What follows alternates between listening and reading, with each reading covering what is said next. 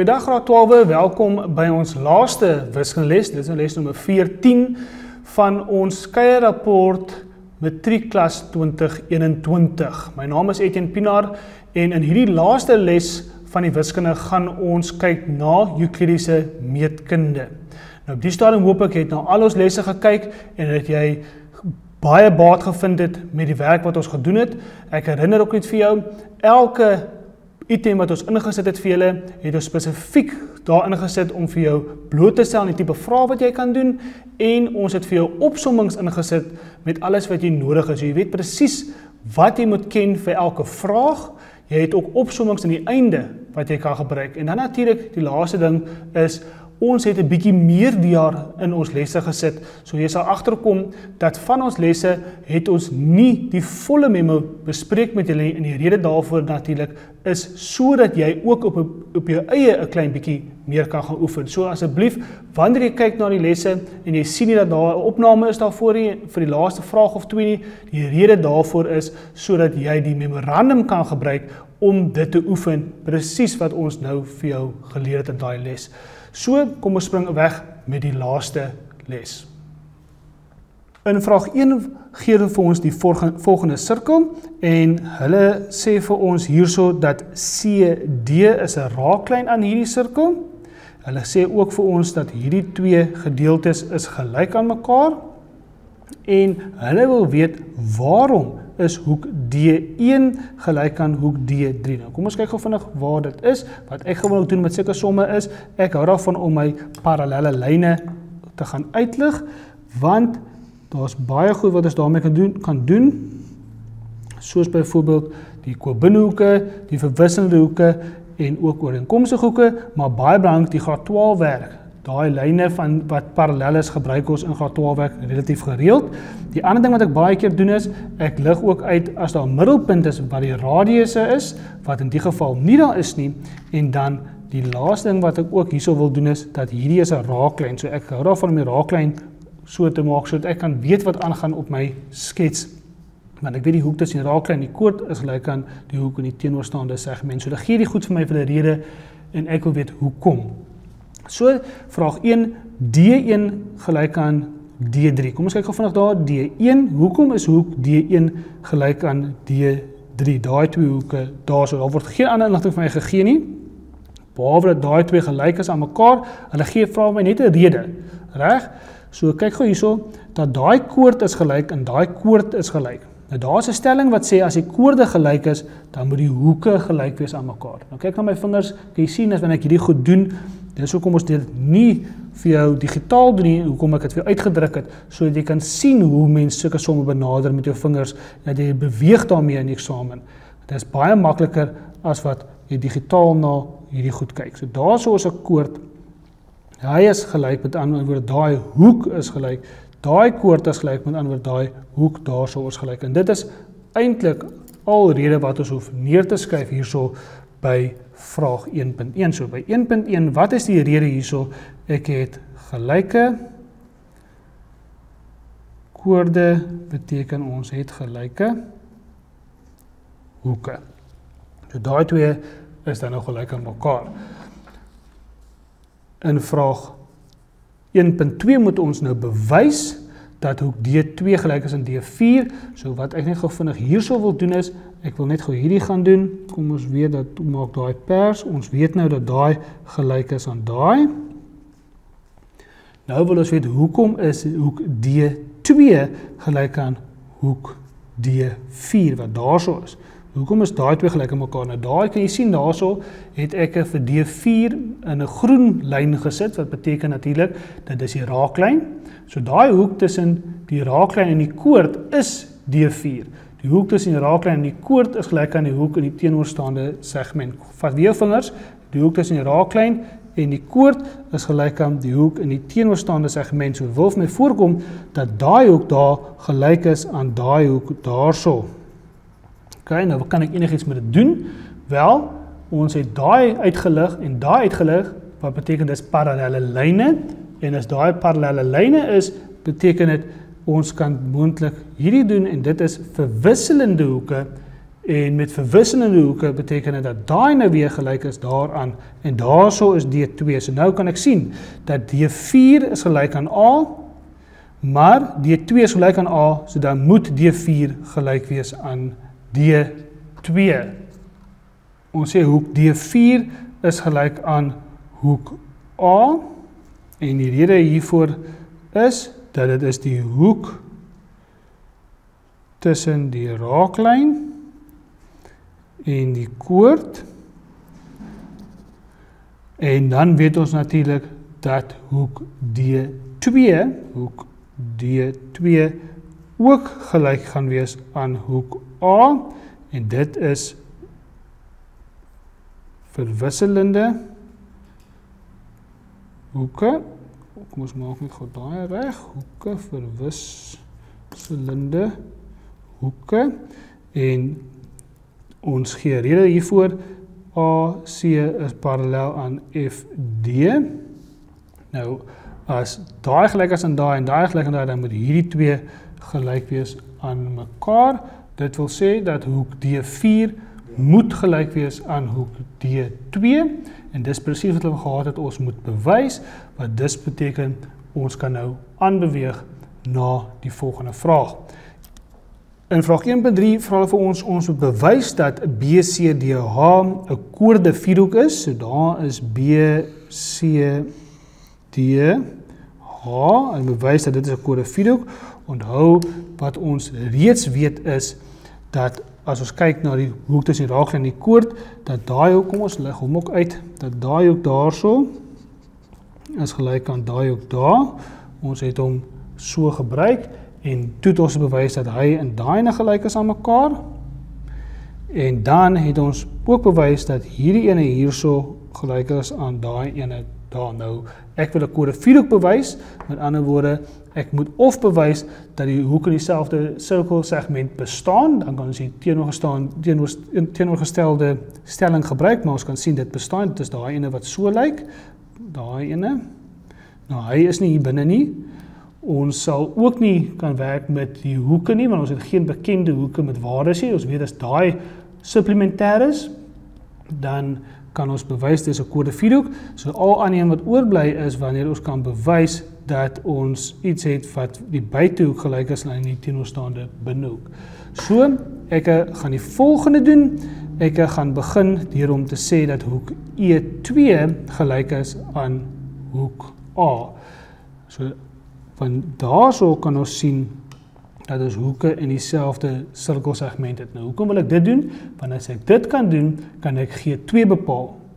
En as ek G2 bepaal, kan ek natuurlik my parallelle lyne gebruik om te bepaal daarso wat daai twee gaan wees. Nou kyk gou vinnig hierso, kyk na groene en daai pinke. So hierdie moet wees 180 minus die groene en die pinke wat daar gaan lees. Wat beteken daai ene gaan dieselfde as daai wees wat ook 180 minus die groen en pinke is. En daar's 'n groen en pinke wat hierso lê en as ek 180 minus groen pink het plus groen pink is net 180 grade wat beteken ons kan bepaal dat hierdie twee hoeke hierso 180 grade gaan wees. So kom ons skryf net netjies neer dat ek nou net nie praat van kleur nie maar van hoeke. So kom ons begin deur om eers hierdie hoek te bewys of gelyk te maak aan hoek A. So dis wat ek hierso gaan neerskryf by 1.3. Ek gaan C sê hierso dat hoek E2 is gelyk aan hoek A en die rede hiervoor is dit gaan wees hoeke in dieselfde sirkel segment. Dit is hoek A, maar ons weet ook natuurlik dat hoek A is gelyk aan hoek D2. Dit het ons reeds bewys. Wat dus beteken hoek E2 is gelyk aan hoek D2. So ek wys gou vanaand vir jou daar. Gebruik gou met die kleure weer. So onthou ons het gesê dat daai en daai is gelyk, ons het voorheen bewys ons bewys nou dat daai twee gelyk is aan mekaar. So hierdie is gelyk aan daai, daai is gelyk aan daai. Onthou, daai het ons gedoen, hoe na klein koord is daai is gelyk. Toe vat ons verwisselend, nou is daai is gelyk. En dit beteken nou toe ons daai nou gaan bepaal, toe sê ons maar as hierdie dan nou gelyk is en daai twee is gelyk, dan moet daai twee gelyk wees aan mekaar. OK, so nou is almal gelyk aan mekaar. Nou hoekom gaan ek dit doen? Want ek wil hier kom sodat ek by hierdie ding kan kom, dat ek hierdie kan bewys. En as daai kan bewys, kan ek daai ook bewys. Reg? So wat is G2 dan nou? Hoek G2 gaan dan nou gelyk wees aan 'n 180 grade minus hoek D1 en hoek D2 saam. Ek wys dit gou vinnig vir jou weer. Kyk net hierso. Daar's hoek D1. Hoek E2 is D2. So in plaas van om te gesê het minus E2, gaan ek sê hoek D2. Nou hoekom wil ek dit hê? Want dan werk ek met daai en daai wat gelyk is aan mekaar, reg? En dit beteken dan nou ek in in binne in hierdie geel kode vierhoek kom. So so ek het nou net daai vervang met dit en dit gaan wees die binnehoeke van die driehoek. Dan gaan ek verder deur om te sê, maar wag net gou vinnig hierso. Maar ek weet ook dat hoek D2 het ek reeds bewys aan D4, dis nou daai kleure wat ek net om af gaan praat het en hoek D1 is gelyk aan hoek D3. Nou ons het dit bewys. So wat ek nou sê is kom ons gaan terug na die skets soos jy kan verstaan wat ek neerskryf. Ek het nou gesê dat as daai en daai gelyk is en hy is gelyk aan daai en hierdie is gelyk aan daai. Hoekom soek ek spesifiek daai twee hoeke graad 12 want ek wil binne in hierdie geel inkom. Dis hoekom ek dit doen. So ek moet eers dit bewys.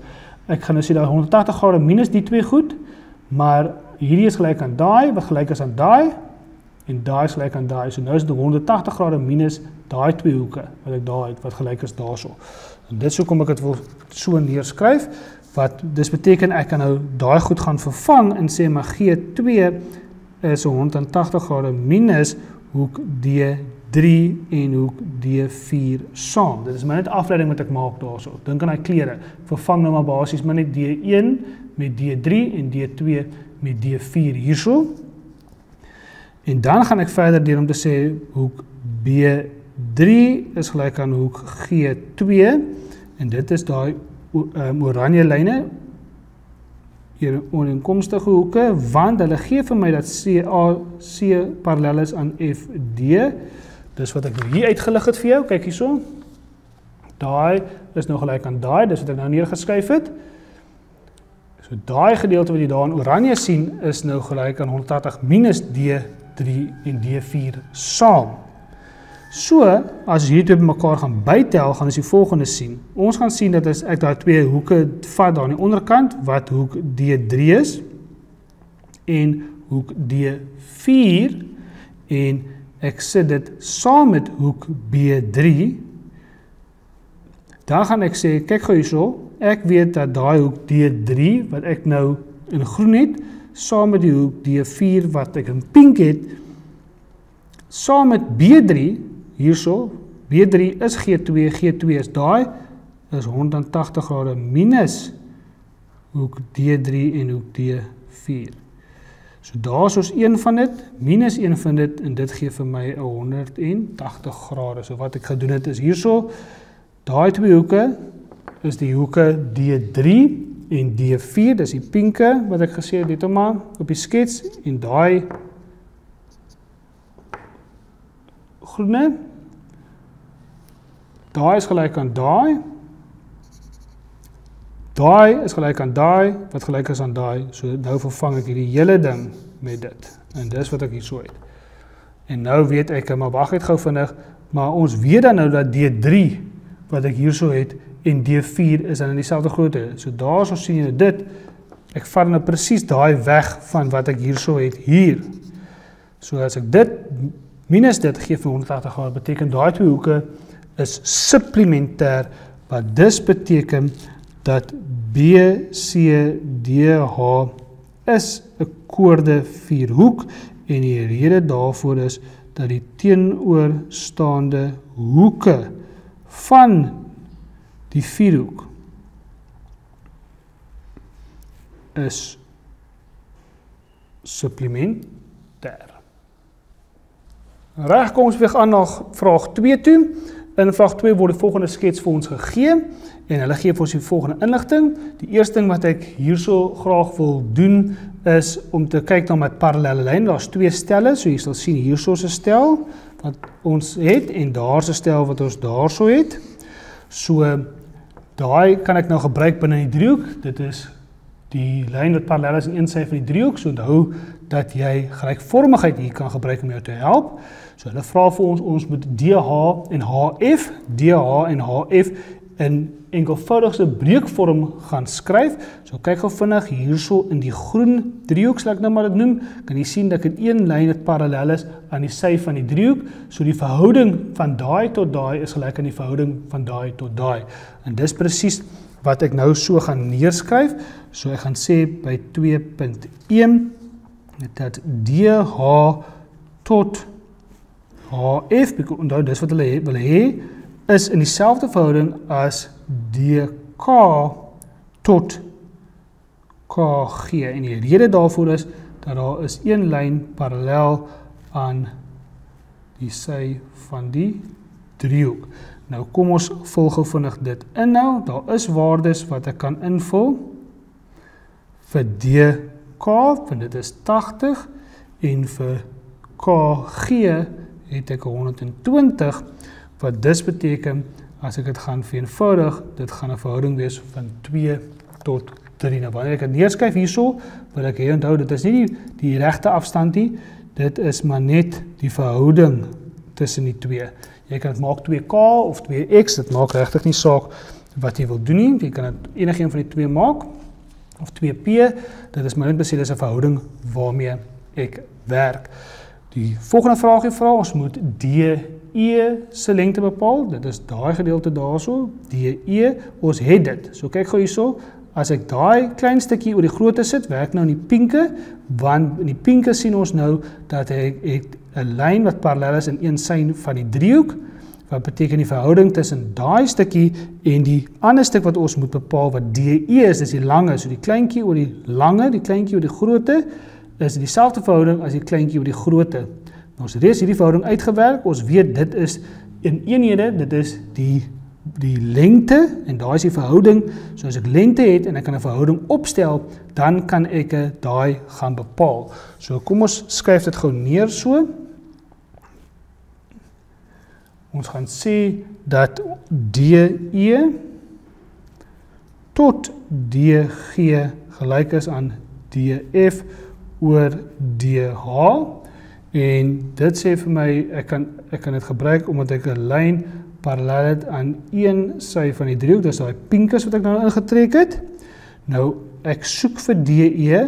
Ek eh, weet dat daai lyn DG is die 80 plus die 120 wat my 200 eenhede gaan gee en dan het ek eh, die volle lyn, die 2 plus die 3k gee vir my 5k oor die klein stukkie wat 2k gewees. En jy kan natuurlik 'n ander veranderlike daar gebruik. Dit gaan natuurlik uitkanselleer en dan kan ons kruis vermenigvuldig. So ons gaan dan hê dat die k's kanselleer uit sodat ek 2DE 200 maal met daai gee vir my 1000 gedeel deur 2 gee dan vir my dat dit 501 hierde is. Nou daai kanselleer met daai uit. Dis hoekom ek dit nie nodig het om dit weer oor te skryf nie. So ons het nou daai vol, volle lengte van daai sy en dit bring ons na ons laaste vraagie toe by 2.3. By 2.3 wil hy die area weet. So ek gaan net 'n ander sketsie hierso neem. Nou, die area moet ons bepaal die verhouding tussen die area van DHK. Kom ons kleur dit in.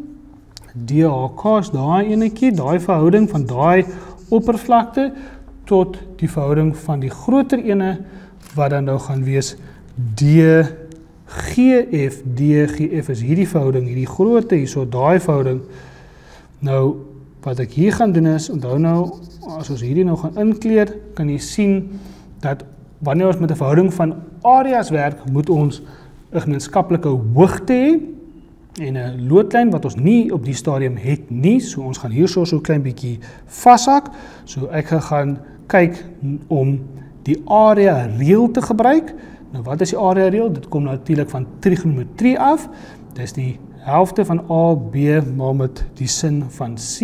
In hierdie geval gaan ek hierdie doen. Ek sien nie daai hoek is gemeenskaplik, so dis hoekom ek hom gebruik en dan moet ek hierdie sy gebruik en daai sy gebruik, dan kan ek die groen driehoek se area bepaal en ek kan ook die kleintjie bepaal deur om daai sy en hierdie sy te vat en die area so te bepaal met daai hoek daarso. So kom ons skryf dit gou-gou neer. Ons sê dat die area of die oppervlakte van driehoek DHK tot die area of die oppervlakte van driehoek DGK gaan die volgende wees. Ons kan nie halfte basis maar hoogte gebruik nie want ek het nie 'n loodregte hoogte nie, so daarvoor gebruik ek die area reël. Wat sê die area reël? Die area reël sê half AB sin C en kom ons kyk gou vinnig na die sketsie hierso. As ons nou kyk na DHK, onthou wat ek wat ons voorheen uitgewerk het dat hierdie is 2K en daai gedeelte daarso is 3K in verhouding. So nou soos in hierdie ene die helfte van daai sy en daai sy, nê? Daai maal daai maal met die sin van daai. Die helfte van A B sin C in die geval, die helfte van daai sy 2K maal met die 80 maal met die sin van D. So dis wat ek nou gaan neerskryf daarso. Daai maal met 2K maal met die sin en daai is hoek D nou.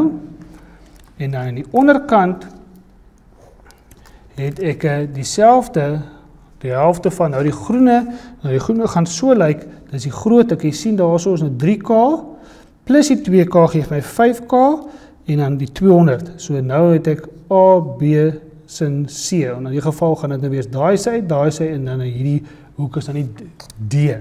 So dit gaan vir my is 5k maal met die sin van hoek d. Nou kyk hierso so eenvoudig soos dit gaan wees daai kanselleer uit, daai kanselleer uit. Daai kanselleer uit. En dit gee dan vir my 'n verhouding van Kom ons skryf gou hierso, ek het hierso ietsie uitgelaat. Onthou net die ander sy was gewees 80, nê? 80 oor 200. Oeps, dis wat ek uitgelaat het. Kyk gou vinnig hierso graad 12, verskoning daarvoor. Ek sê dit maar ek het nie neergeskryf nie. Maal met die 80 en daai was die 200. So ek het dit nou gesê maar ek het nie neergeskryf nie. So wanneer ek dit dan nou vereenvoudig gee dit my 4 oor 15. Kyk gou vinnig hierso. Ek het vir jou gesê dat dit gaan wees die die helfte van daai maal daai maal met die sin van d en dis daai gedeelte wat jy daar sien 2k die 80 en die helfte van die sin van d dis die bokant ek het vergeet om daai neer te skryf vra verskoning.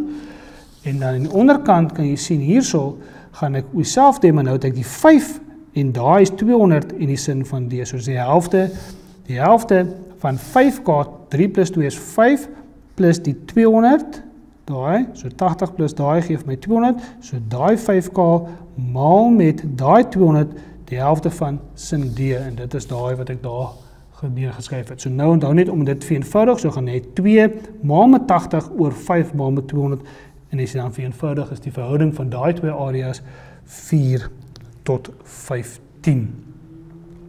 Baie dankie graad 12 dat julle hierdie reeks saam met ons deurgeloop het. Ehm um, ek uh, hoop vir julle alle sterkte toe vir julle eindeksamen. Uh, ek wil vir herinner daar is nog somme wat jy kan doen om vir jou te help met memorandums wat ons bygesit het en natuurlik wil ek ook vir herinner dat ons het hierdie jaar ander somme gebruik wat ons nie laas jaar en laas jaar se winterskool gehad het wat nog steeds beskikbaar is op die webtuiste. So asseblief voel vry om saam met dit wat ons die jaar uitgewerk het nog steeds laas jaar se goed te gaan aflaai en daardeur te werk en dan wil ek maar net vir julle alle sterkte toewens vir jou eksamen, alle voorspoed en ek is baie bly en baie trots op julle dat julle die moeite doen om na hierdie opnames te kyk en deur die werk te gaan, want dis regtig al manier hoe mens baie goed gaan raak in wiskunde en hoe jy die nodige kennis gaan opbou en oefening gaan hê om die eksamen aan te pak. So alle sterkte.